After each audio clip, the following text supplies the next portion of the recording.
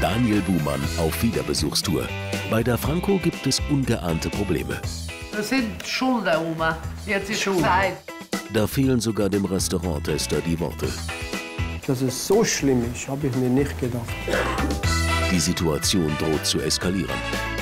Er ist ganz erschlossen. Franco, Ja. Franco, Claudia. Ja, puh, wird spuken. Hoffentlich verläuft Buhmanns zweiter Besuch bei seinem allerersten Fall von vor acht Jahren harmonischer. Was machst du schon wieder da? Buhmann, der Restauranttester. Montag 20.15 Uhr auf 3 Plus.